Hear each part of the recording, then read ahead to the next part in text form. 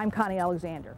Miniature horses are living, neighing examples that good things really do come in small packages. Can you imagine the size of the horse, full-size horse, mind you, that will fit into this? Well, you don't have to imagine because we're going to show you some of those horses today. We're here today at the Calsonic Arena in Shelbyville, Tennessee at the Tennessee Miniature Horse Celebration. Humanity has depended on the power of horses for thousands of years. Breeds were developed and altered depending on the service they were expected to perform. The miniature horse is no exception. This size breed originated in Europe from several different sources. In the 1800s, draft-type miniatures were used in the coal mines to pull the ore carts in the shallow mines. Many of these horses lived their entire lives underground. These miniatures were stockier and less refined than the miniatures that were developed in the 1600s by European nobility. There are paintings from the mid-1700s portraying pampered miniatures with royal families. These equine ancestors of today's miniature horses lived in luxury. Lady Estella Hope and her sisters developed a breed line of miniatures in the mid-1900s in England. This breed line continues today. Many miniature horses in the United States can trace their lineage through the Hope line. The American miniature is a height breed. The American Miniature Horse Association requires that a horse must measure no more than 34 inches in height at maturity. The measurement is taken from the last hairs at the base of the mane to the ground. This small, unique breed of horse has standards of perfection that are similar to the other larger breeds. They are expected to be sound, well-balanced, and symmetric. Mares are expected to exhibit refinement and stallions boldness. This small breed is known for its affectionate, gentle nature. They make wonderful companion animals for both adults and children.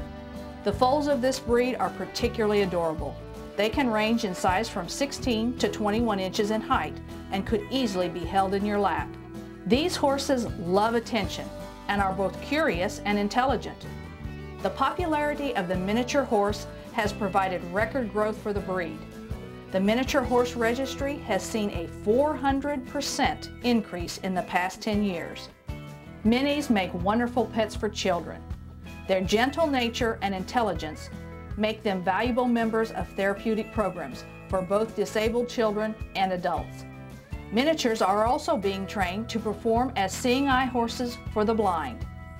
Because of their small size, only the smallest children can actually ride a miniature horse. So what can you do with these little horses? Many miniatures are owned and loved by people who find they no longer wish to handle a thousand pound horse but don't want to give up the companion relationship they have with their horses. These horses make wonderful showmen and participate in more than 250 sanctioned horse shows all over the country. They show at halter and a variety of driving classes. They do not require the space or the amount of feed that larger horses require and can be maintained at about one-tenth the cost of a full-size horse. Miniature breeder Sandra Bradford of West Winds Farm in Pulaski, Tennessee talked with us about owning and enjoying one of these unique little horses. Sandra, who have you got here with you? This okay, morning? this is uh, West Wind's Blue Velvet Dream. She's a, a three-year-old mare out of um, Blue Boy background in Comoko, and uh, she's this will be her third year of being shown.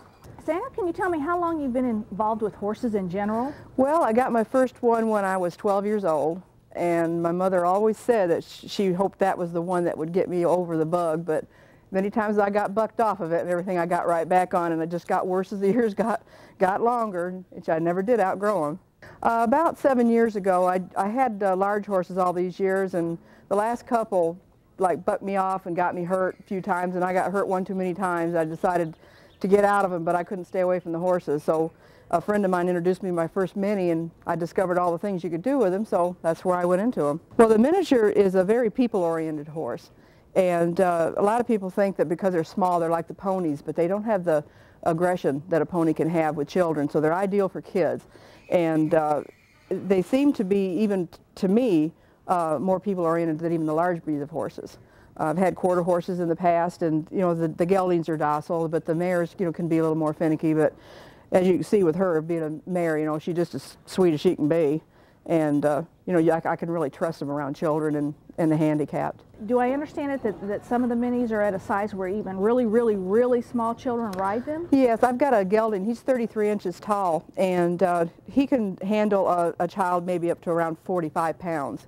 And they'll let you know when they're getting too heavy. They'll just kind of buck a little bit and drop the child off, which is not much of a drop. And uh, but they can handle it pretty well. If they're stout or built, you don't want a real fine boned one, you know, handling a child. Can you tell me, do do the minis have more or different kind of health problems than some of the larger horses? Um, they have the same problems as the larger horses. The only thing that you might have a little more often with a mini is, is with their teeth because the, they do have large teeth for a small head and uh, a few people have had problems like having to have a wolf tooth pulled or uh, maybe misalignment or something like that. That's why the judges check their teeth when they uh, judge them to make sure that they're not like an overbite or an underbite on them. But other than that, they have the same problems and, and uh, as the big horses do.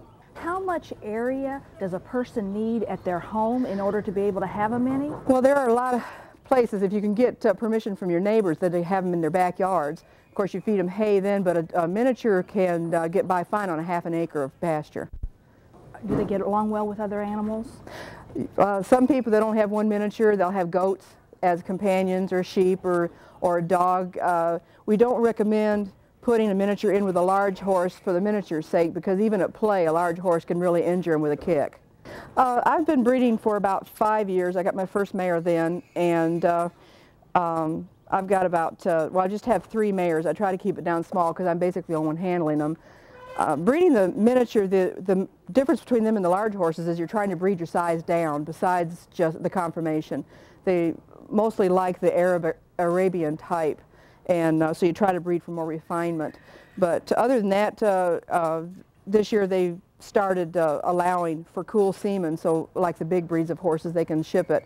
But uh, other than that, you try to find a, a stud that's compatible in size-wise and, and uh, conformation-wise that will really accentuate the, the foal with a mare.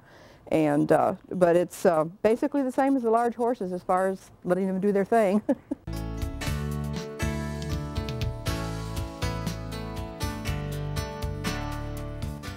it is inevitable. Sooner or later, your horse is going to need emergency health care. What do you do until the vet arrives? Dr. Cindy Johnson of the Dogwood Animal Clinic in Jamestown, Tennessee talked about some of your options.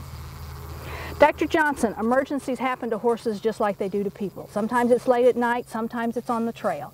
Um, what should a horse owner do if he uh, realizes either on the trail or in the barn that his horse has a severe laceration and is bleeding? Before the vet arrives, what can a horse owner do? Well, just like with a person, the first thing you want to do is stop that bleeding. You want to get the bleeding stopped by holding pressure, doing whatever you have to do. Sometimes if it's on a limb, if it's on an extremity, you can wrap that extremity and help to stop the bleeding because you want to get it to clot and stop the bleeding. Okay. The next thing to do is if you can, you want to clean the area. That way you can better evaluate if it's a superficial cut or if it's a deep cut. Right. And that's going to make a big difference on what we need to do for it. Exactly. If it is a superficial cut, you can wait. And you can call your veterinarian the next morning. He'll want to come out, give the horse a tetanus shot, He'll want to give some antibiotics probably, and he may or may not stitch the wound. Often with puncture wounds, we're not able to. You want to also evaluate and see if it's a deep wound. Right. If it is deep, you might want to go ahead and call your veterinarian right then. Right. Or if you can't stop the bleeding, okay. that's definitely when you want to call your call. veterinarian. Okay. Uh, another incident might be out on the trail. Uh, uh, a horse stumbles or, or receives a trauma in some way and the horse owner realizes that it, the, the animal does in fact have a fracture, a fractured leg, what should he do at that time? Well, the first instinct and what we've always been taught over the years is when an animal, when a horse breaks a limb, we're not able to help it, then they would go ahead and shoot it. Yeah. But we have a lot more options nowadays than we used to have. Right. So the best thing to do is first, you know, don't be on him. Don't be moving him around a whole lot. If you have to get him out of the area, if you are in an area like deep in the woods on a trail ride, mm -hmm. then you might do like the Boy Scouts do. Get a limb or a piece of wood or a, a branch yeah. and put on there in a piece of cloth or a jacket or a shirt or something right. and make a little makeshift splint in order to get him out of the woods and get him to treatment. Him to treat. So that would be just as a, uh, as effective for a, a, horse with a broken limb as it would for a, a human. Right. A lot of these techniques are the same. Let me ask you another question. What if, if a horse receives trauma to the eye, which could very well happen either in the trail or in the barn? They just have a severe trauma to the eye. Sure. What should a horse owner do? Okay, the first thing that you want to do is don't ride him because that would be very dangerous. He's likely to hurt himself or you. You want to guide him someplace dimly lit or dark right. until you can get a veterinarian to take a look at that eye. Okay. With traumas to the eye, you want to have your vet look at it as a number one rule because with the eye, we can't take any chances. We don't want to lose an eye. and there are not that many home treatments that you can do. Right. So the best thing to do is to keep him relaxed. Don't let him be excited and agitated. Uh -huh. Keep him in a dimly lit area where there's not a lot of bright lights, intense lights right. on that because it will cause more pain. I see. And get your vet as soon as possible. As soon as possible. okay. um, and another thing that, that, that, happens frequently are horse owners realize that their, their animal, their horse has picked up a nail in the foot. And here they have this protruding object. What should the horse owner do? The first instinct is to go and pull that nail out. But that's the worst thing that you can do. Yeah. You want to leave that nail in there until you get him to your veterinarian. If it's just a puncture hole and the nail has come out, mm -hmm. you can flush that area with peroxide or something like that, or right. a betadine solution of some sort. Right. And then you can apply an antibiotic ointment in there, okay. or Furox, which is a copper sulfate right. solution. Right. You can put that in there, and that'll help to uh, close that wound up. But if the nail is still in there, uh -huh. do not pull it out. Okay. If it's only in there just a short way, then it's not really going to be that big a deal. Right. But you don't know. You right. don't know how far it is in there. Right. And if it's in there all the way up to that navicular bone, which is the first bone in the foot of a horse, exactly. that could be detrimental. Okay. And you don't want to pull that nail okay. out. So again, it's just keep him still and get the vet. Definitely. as quickly as possible. Yes.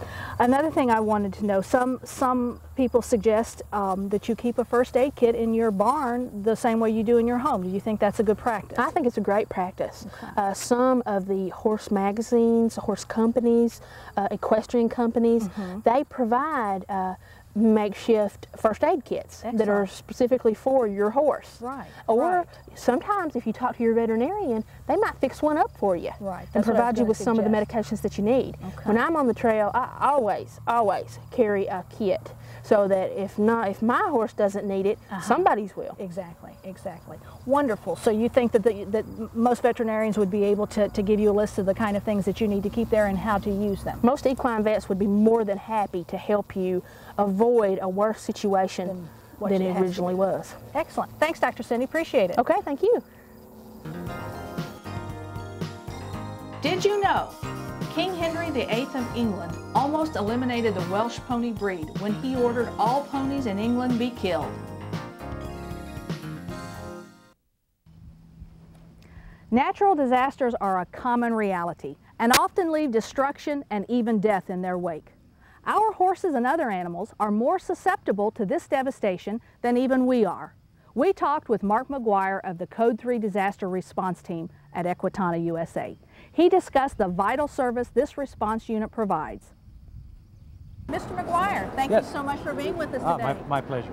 Um, tell me a little bit about your organization. I understand this is the Code 3 Associates Animal Rescue Project?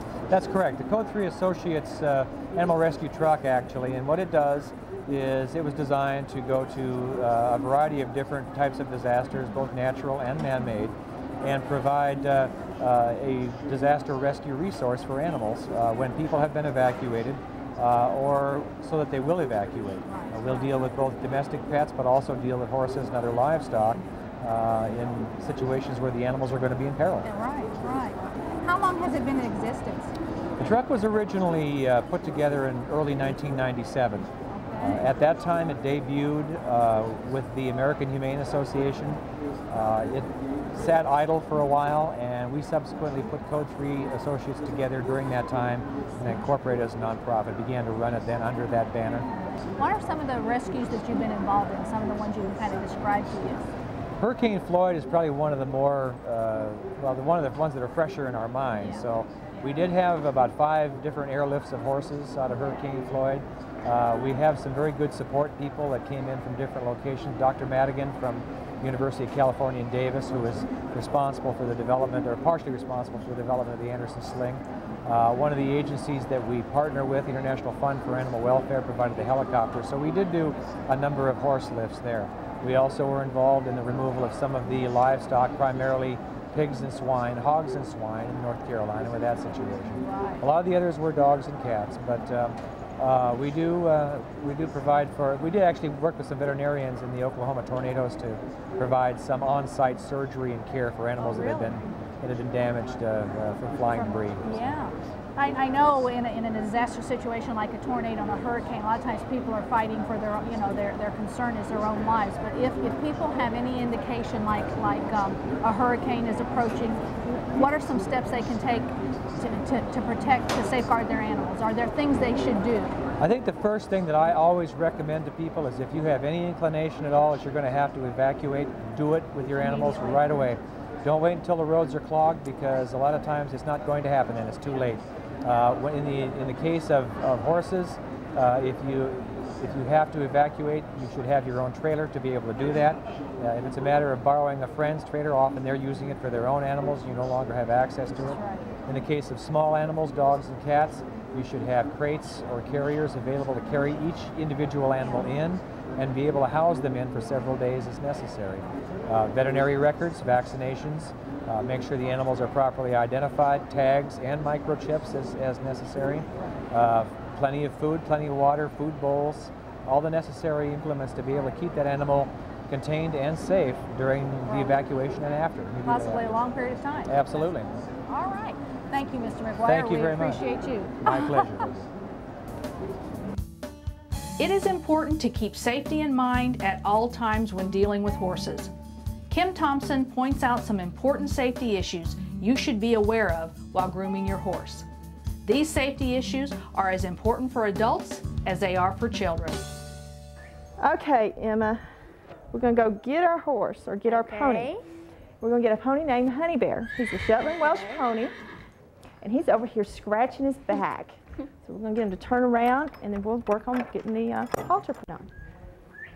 And you can hold right there, and I'll let you lead him out. and I'll be right behind you. Take him over to the washroom. There we go. Yeah. Okay, just walk him in and then come toward me. We'll turn him around. Okay, now we're going to start brushing him a little bit. Okay, and we're going to start off first thing using a curry comb.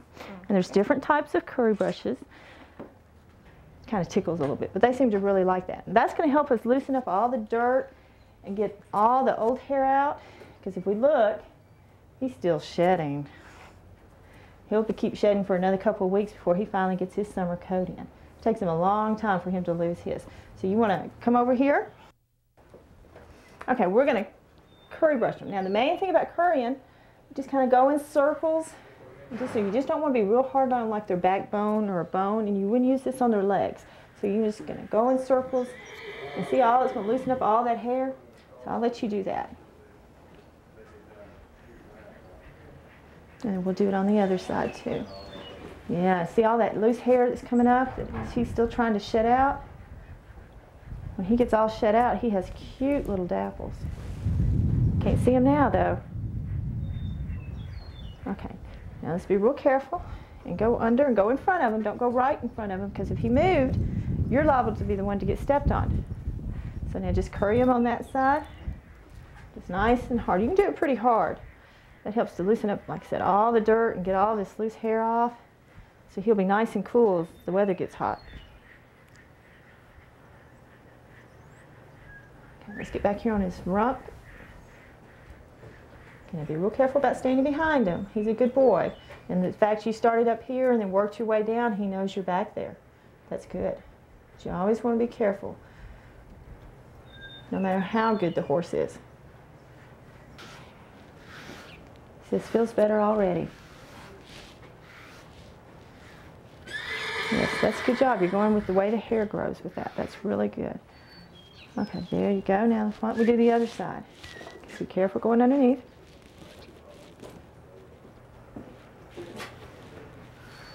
Going with the hair growing. Look at all that hair coming off.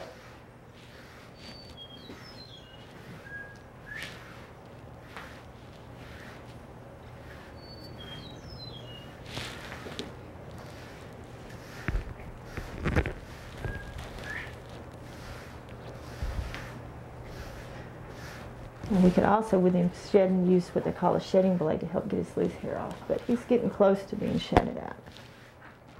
Now, we want to brush his tail a little bit. We're going to let him know we're back here. If we keep talking, he's used to people walking behind him, but we're not going to stand directly behind him, okay? So let's get to the side. Why don't you come over to this side? So that way, if he happened to kick out or a bug or a bee got on him, then um, he wouldn't get us. You know, if it's very tangled, then you start at the bottom and work your way up, which this is pretty good. Got some little curls in there, it looks like, doesn't it? Mm-hmm. We also want to clean out his feet. We want to make sure, what are we going to do? Why are we going to clean out his feet, you think? Um, just so all of it won't build up. Say if a rock was in there, it wouldn't keep poking them. That's right. I'm going to do this foot, and then we'll you do the next foot over there, okay? So I'm going to run my hand down him. He already knew what I wanted. And picked his foot up. I'm going to start up here. Sometimes he's got a lot of stuff in there, sometimes it doesn't. So some of you kind of get in the corner of the frog. You know that's called a frog? Doesn't look like one though, does it? That's what it's called. You get in the corner, you usually can get them all off in one big thing. There we go. Okay, now he's nice and clean. We didn't find any rocks, so that's good. So let's go on the other side, and we'll let you do that foot.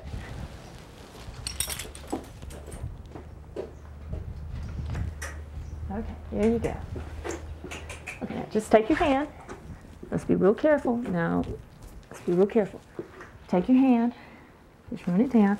See, he knows that's what he's supposed to do. Now, if you'll stand this way, like this, and put your shoulder against him, that helps a little bit. And that keeps your feet out of the way. There you go. Sometimes it's packed in there pretty hard.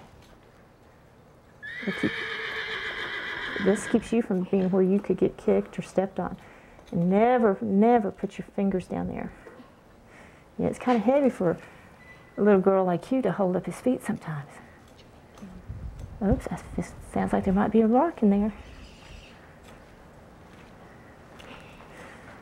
There you go.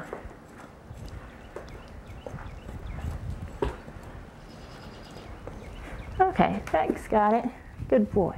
And now while we're cleaning their feet, we can also check their legs, make sure we don't feel anything on their legs or feel like they've gotten any bumps have hurt their legs.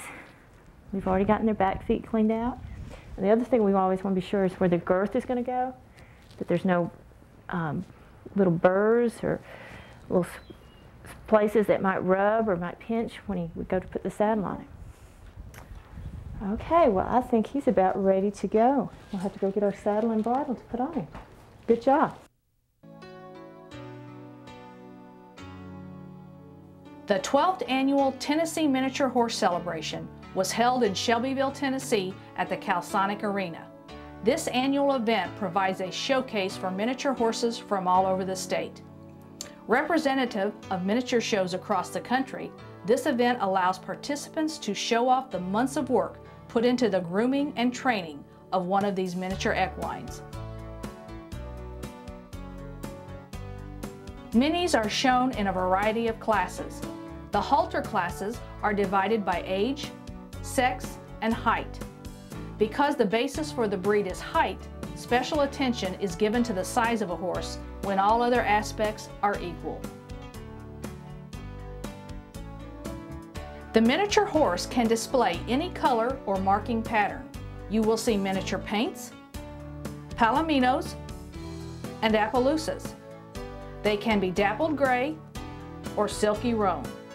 The objective of the breed is the smallest possible perfect horse.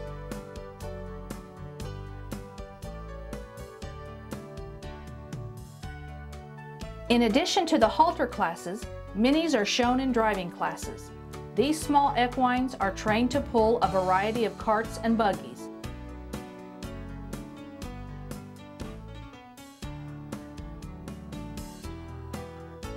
Youth classes also include both halter and driving.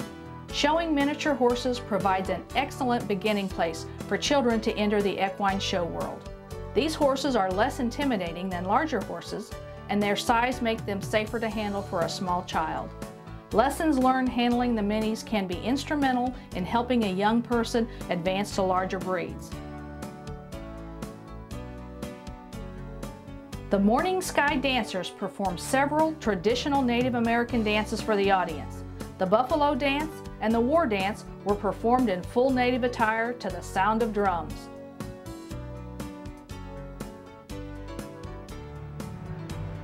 One of the most exciting events of a miniature show is the Liberty class. This exhibition allows the horse to run free in the arena for a specific amount of time. The owner must then stop the horse and bring them back under halter in a limited amount of time. The audience loves this class, and you can see why. These horses seem to know they are in charge and enjoy every minute of it. Watch them run.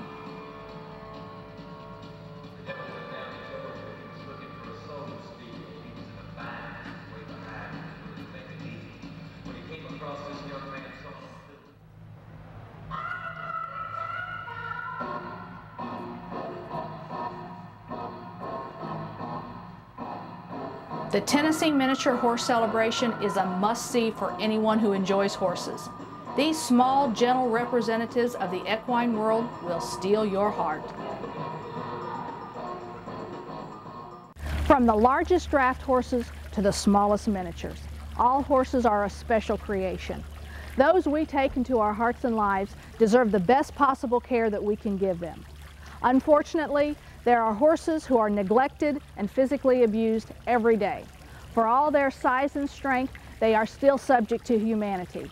If you know of horses who are being abused or neglected, please get involved. Call your local authorities. Remember, the only voice they have is yours. As always, when you are horsing around, be safe